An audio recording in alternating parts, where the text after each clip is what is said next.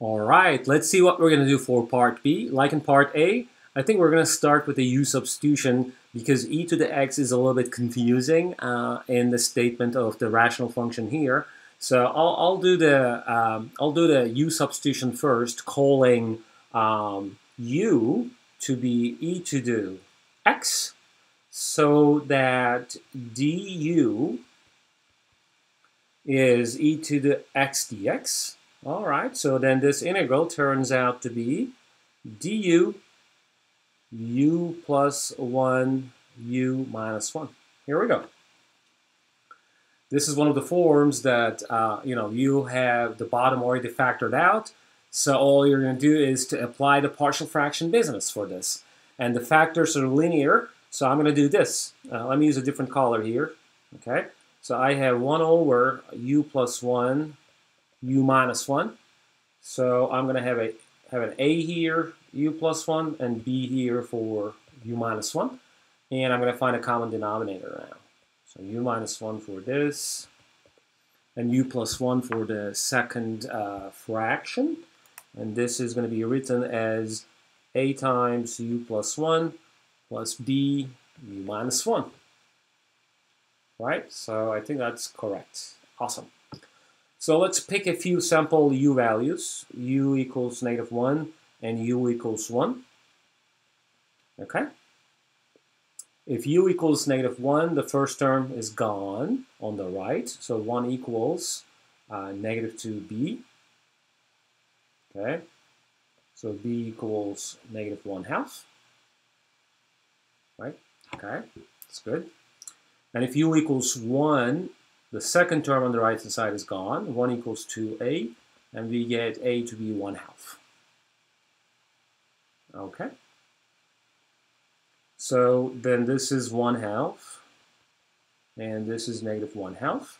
So now I can write this integral as, as, so I make the 1 half out, du over u plus 1 minus 1 half du over u minus 1. Okay? So I'm going to use two uh, substitutions here. One is uh, maybe v equals uh, u plus 1 so that dv equals du. And the other one is w equals u minus 1 so that dw equals du. Okay? And turns out that this integral is 1 half dv over uh, dv over um, let's see v? Okay and then the other one is dw over w. Okay good. So this is 1 half ln of absolute value of v minus uh, minus ln absolute value of W. Okay. 1 half ln u plus 1 minus 1 half, let me just continue from here because that's going to get some space here, minus 1 half ln uh, u minus 1. All right. Woohoo! Uh, we're not done yet because we have to back substitute uh, u. Uh, let me clean uh, this part, okay? So we don't need this part anymore. All right, so u equals e to the x. So all I'm going to do here is just to come back and then plugging in with also one half, obviously.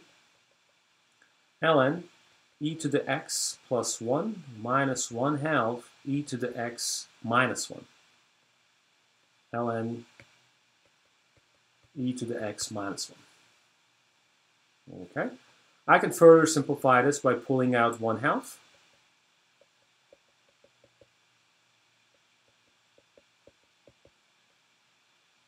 And now since we have the difference of two ln functions, I can write it as a quotient, 1 half ln of a quotient. ex plus 1, ex, e to the x minus 1.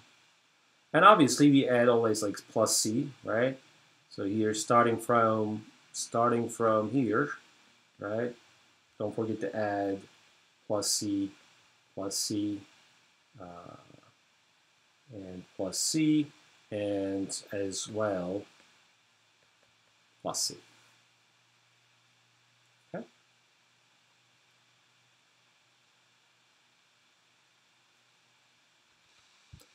All right, so I'm going to move on to the next video for part C. Thanks for watching. I'll see you there. Bye.